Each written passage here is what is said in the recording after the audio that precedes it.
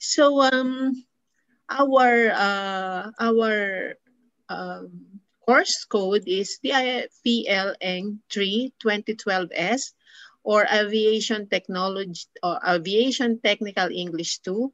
For our topic for this afternoon, we have uh, speech delivery. Okay, so for our um, learning objectives, after the discussion, we will be able to explain how to deliver a good speech and then identify the elements that contribute to a good speech delivery. And then explain the different methods of speech delivery. And then the last one, differentiate physical aspect of delivery from uh, psychological aspect of delivery. Okay, so um, let us now start. Okay, now the speech that we, the speech material that we prepare on last, on the, uh, on the, our last discussion uh, uh, is now ready to be delivered in public or with the audience. Okay, because uh, our topic last time, last uh, virtual class is uh, uh was speech uh, preparation. Now, speech delivery is not just about the words that we say, but it is also about how we say it. Now, non-verbal communication is just as vital as the content of the speech, particularly how we use our speaking voice. Now, according to Lucas, uh, good speaking delivery is an art. Okay, there is no one formula that fits all speakers. And what works today may no longer work tomorrow. So despite the ever-changing nature, uh, there are some elements that remain constant, which are all good deliveries are made of. The eye contact, avoiding distracting mannerisms, and well-modulated speaking voice. Okay, now in the context of um, in the context of uh, public speaking, speech delivery refers to the presentation of the speech you have researched, you have organized, outlined, and practiced. Now, speech delivery is important because it is most immediate to the audience. Okay? You have your audience with you to listen to you. Okay? Now, what is speech delivery? Now, it is an effective medium of putting words into action, which consists of words, of course, your speaking voice, uh, facial expressions, gestures, postures, and movements of the body united in a single pattern of expression. Okay, it is also the physical medium through which the speaker's mind make, makes contact with the audience mind. So that is uh, speech delivery. Now, uh, what are the aspects of speech delivery? We have here physical aspects and we have psychological aspects. So when you say physical aspects, these are seen by our naked eye, okay? Uh, okay, so for example, our voice. So let's take first our speaking voice. Now, a voice is important in effective speaking.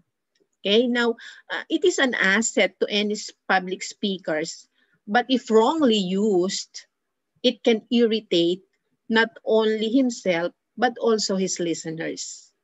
Okay, now um, there are properties of good speaking voice. Okay, um, this voice is defined as the sound produced by the vibration of the vocal cords. Now, what are the properties of uh, a good speaking voice? Now, number one, we have here volume, okay? Now, volume refers to the carrying power of the voice or the loudness and the softness of the speaker's voice. Now, um, what should be the allowable volume? Okay, so the allowable volume is not so soft that the speaker cannot be heard and not so loud that the listeners will get distracted. So, so try to remember that the allowable uh, volume should be not so soft that the speaker cannot be heard and not so loud that the listeners will get distracted. Okay, the second property of a good speaking voice is the rate. Okay, when you say rate, it is the speed in speaking. When you say speed, it refers to how fast or how slow the speaker is. So what should be the allowable rate of the speaker? So the allowable rate of the speaker is not so fast that the speaker cannot be understood and not so slow that the listeners will get bored. So that is the allowable uh, rate, okay, or speed in speaking. Now, the second one, uh, or the third one is the pitch. Now, pitch is the relative highness and lowness of the tone of the voice. Okay, we said that uh, pitch is uh, commonly referred to as the musical position of speech sound.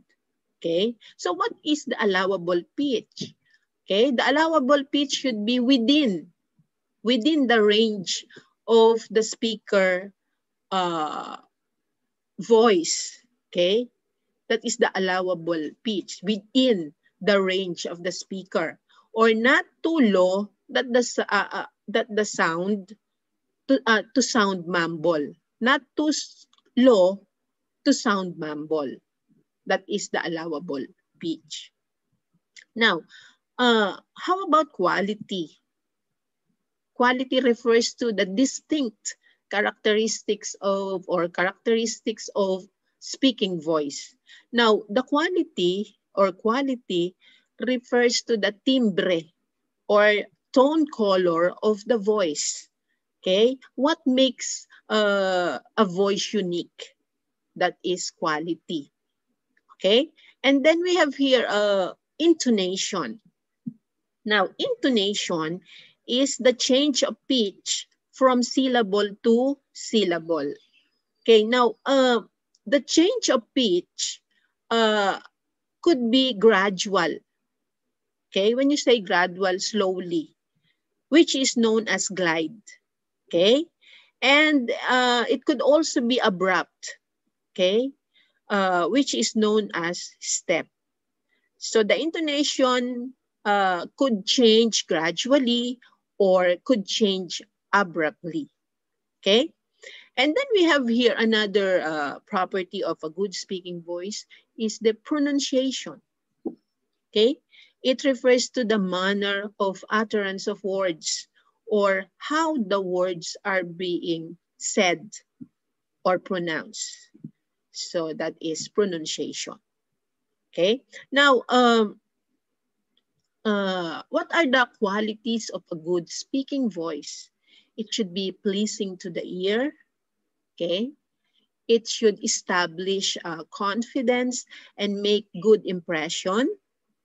Another one, loud enough to be heard and clear enough to be understood. Okay. A good speaking voice can get attention and flexible enough to carry the greatest uh, possible amount of meaning. Now, uh, there is a saying that a carefully crafted speech can be ruined by a dull vocal delivery. That no matter how very good your speech material is, if not delivered properly, using a good speaking voice, then it is nothing. Okay? Now, the human voice is capable of producing a broad range of intensity from a faint whisper to an ear-splitting scream. but most people only use a small part of that range. Okay, so um, that has something to do with uh, the voice. Okay, now let's move on with uh, the facial expression. Okay, another uh, physical aspect of delivery is facial expression. Now, your audience gathers a lot of information from your facial expressions.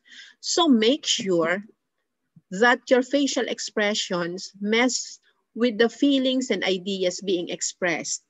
Basically, uh, a good rule of thumb for facial expressions as well as gestures is to do what comes naturally. So be natural. And remember, you can't go wrong with a smile. So always uh, wear that smile in your face, okay? And then the other one is uh, eye contact.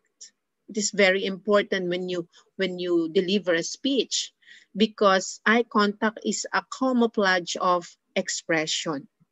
Okay, now a good strategy for eye contact is to make a brief eye contact with members of the audience in one section and then move to another section of the audience. Ideally, a speaker should make eye contact with someone whenever words are being spoken in the speech. Okay? Now we have here gestures. Gestures is, uh, uh, or gesture uh, is any act of the speaker that reinforces or demonstrates ideas. Okay? Now, body parts are used in showing gestures like face or facial gesture, hand, hands or hand gesture, and then we have head. We make use of our head, our shoulders, our feet, and also with our arms. Okay? Now also we have here another uh, physical aspect of delivery, the, the posture. Posture is the position or bearing of the body.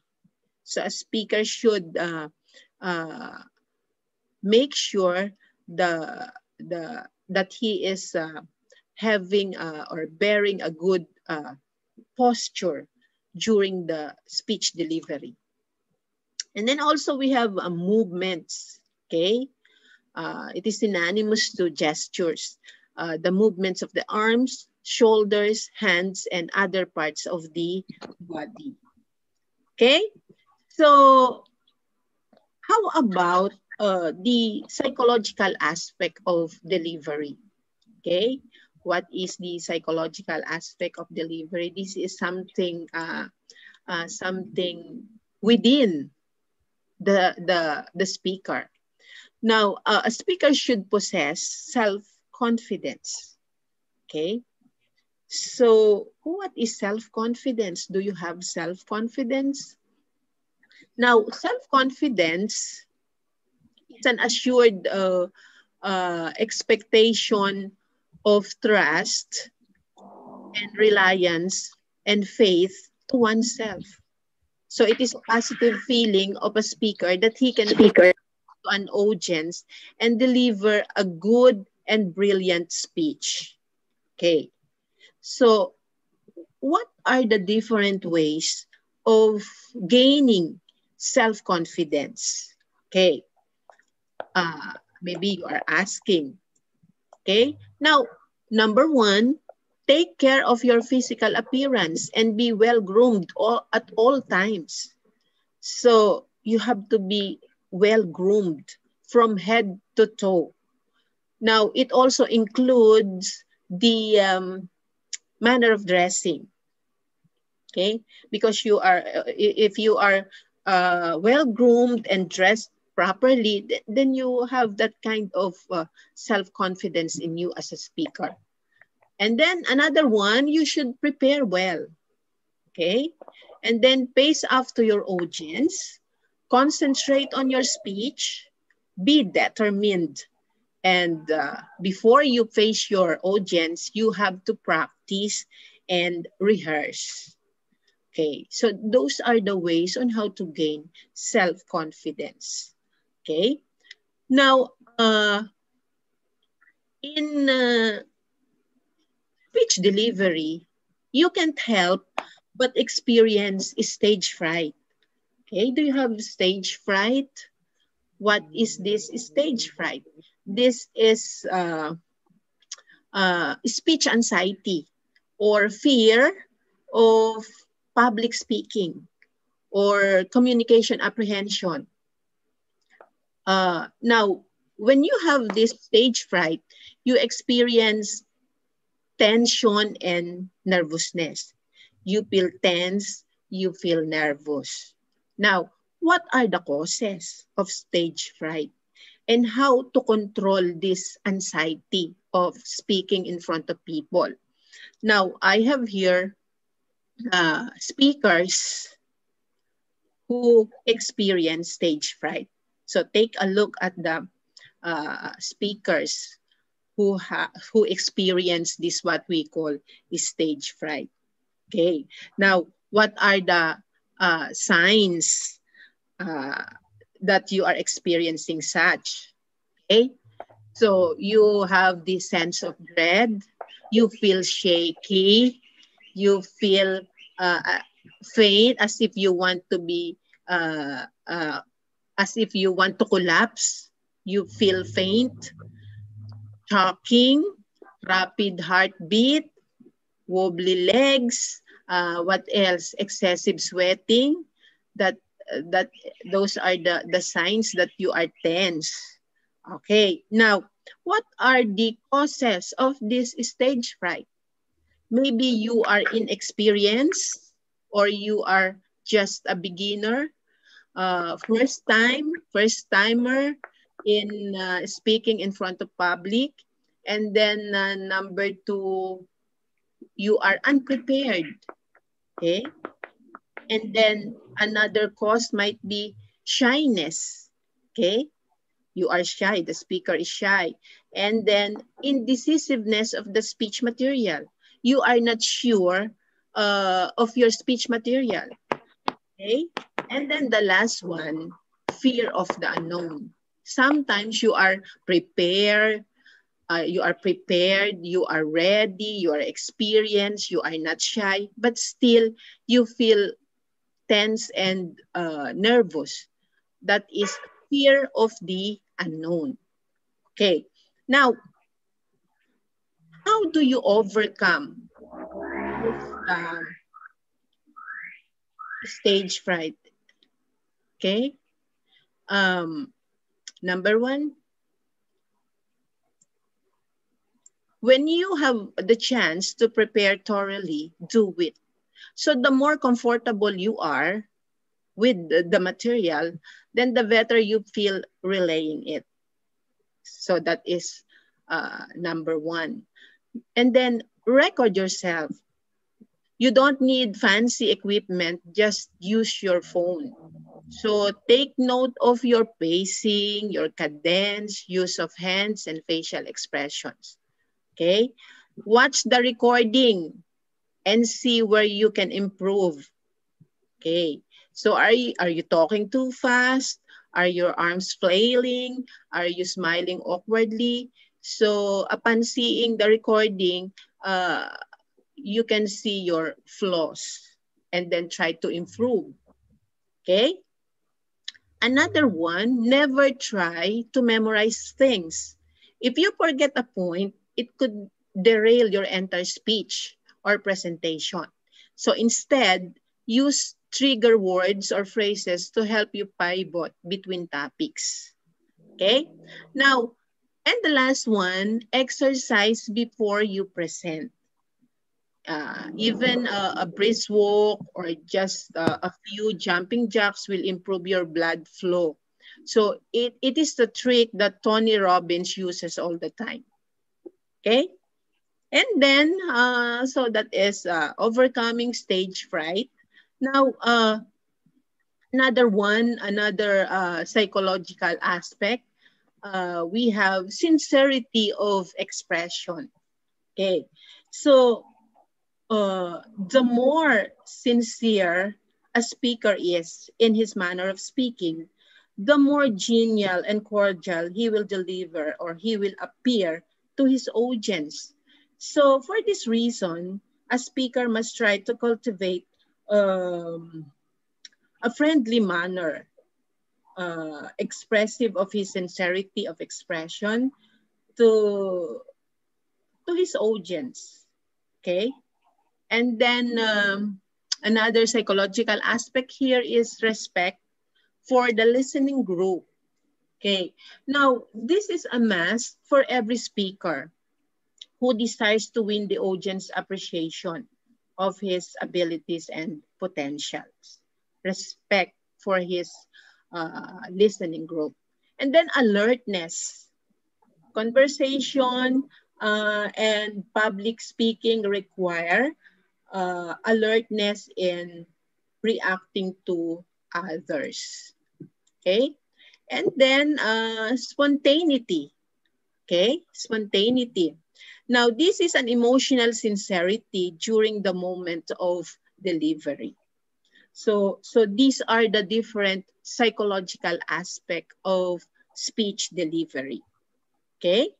Now, um, moving on to other essential factors of speech delivery. Uh, number one is speaker's physical appearance, which includes good grooming, posture, platform behavior. This uh, I mentioned a while ago. This has something to do with uh, speaker's physical appearance. And then speaker's voice, uh, loudness, and clarity. It must be uh, loud enough to be heard and clear enough to be understood. And then speaker's command of language is also important, which includes pronunciation and grammar. Grammar should be correct. Okay, grammar refers to the correct usage of language. Okay, and then what else? Now, what are the different types of speech delivery? So this is very important also. Uh, we have here uh, read speech or manuscript speaking. Okay, so meaning to say, how will you deliver a speech? It could be read speech, okay, or manuscript speaking, which involves reading your speech word for word from its written form. Okay. Now, the advantage of uh, delivering a speech this way is that speaker can perfectly plan and control the wording of the speech. And then the objective of this method of delivery is to sound as if the speaker is speaking to the audience and not reading them. Eye contact must be established with the audience and still be able to relate to them. Meaning to say that uh, even if you are uh, just reading your speech, you have to establish a, a, a contact, a rapport to your audience and listeners. Now, this type of delivery is used primarily by formal speakers, politicians, business executives, and others when they prepare their speech well in advance and read it during the delivery. Okay?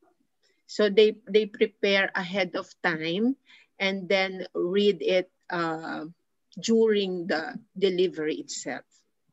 Now, manuscript delivery takes all of the research, organization, and outlining work. Okay, since it is uh, uh, since the speech is uh, being done ahead of time or in advance, it takes a lot of researching, organizing, and outlining of the speech material. Okay, so that is read speech. Okay, and then we have the memorized speech. Now, memorized speech is committed entirely to memory.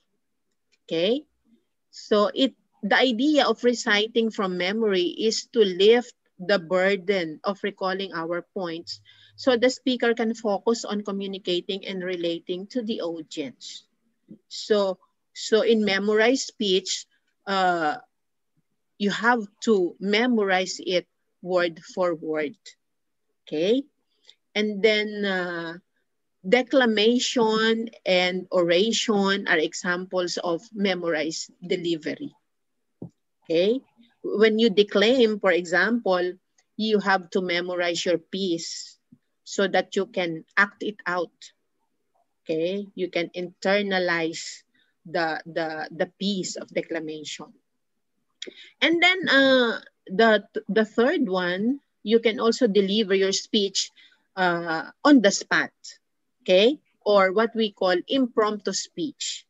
Okay, it is an on the spot speech or the spur of the moment speech. So it is delivered with little or no preparation at all because this is on the spot. Okay? Example may happen when someone needs to say a few words in response to a previous speakers. So politicians are good in uh, this impromptu speech. Okay? And then uh, how else can you deliver your speech? You have read speech, memorize speech, impromptu speech, and then the last one, you can you, you can have extemporaneous speech. Okay. Now, extemporaneous speech is a speech delivered with some prepared structure, such as notes or an outline. Okay. So uh, it gives more control over language than impromptu speech and gives more flexibility compared to uh, memorized speech. So meaning to say you are given ahead of time to deliver or, or, or to, to prepare uh, your speech when it is extemporaneous speech. Now, this is the most common type of delivery in college presentations among students okay, that they prepare, uh, uh, they are given ample time to prepare their speech. Okay, so so those are the different types of uh, uh, delivery, speech delivery, how you deliver a speech. Okay, now let's move on to the kinds of speech according to purpose.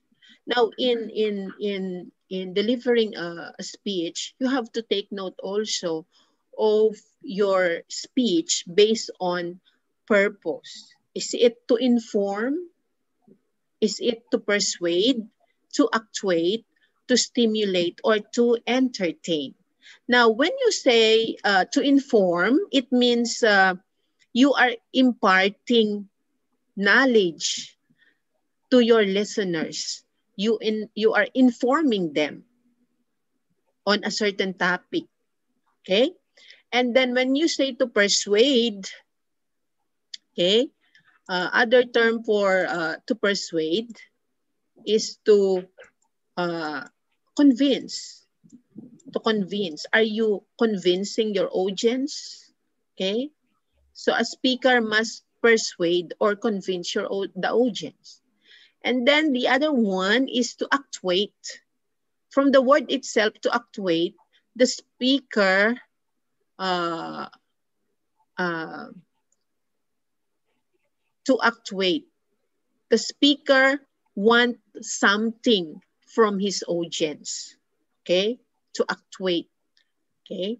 And then to stimulate is to arouse the emotion of the audience, okay? Uh, you need to make the audience uh, cry, you make the audience laugh, you make the audience uh, uh, internalize. So if that is your purpose to stimulate. And then the last one is to entertain, is to amuse the audience. So this is the lighter side of the coin, to, to entertain, to make the audience laugh or to amuse the audience. Okay, so these are the different kinds of speech according to purpose. Okay, uh, what else? Okay, now, uh, so um, in, in conclusion, uh, nonverbal communication nonverbal communication is clearly just as important as verbal communication. So it is essential to devote time not just to practice what we will say, but how we will say it. Now we will we, we should always be mindful of uh, distracting behavior and work on improving our craft every chance we get. So go through the prepared speech, polish and refine the speech, and then practice delivery as much as possible. Give the speech uh, address rehearsal if necessary, and then uh, deliver the speech successfully. Okay, now uh, uh, to sum up uh, our discussion uh, this afternoon, uh, speech delivery.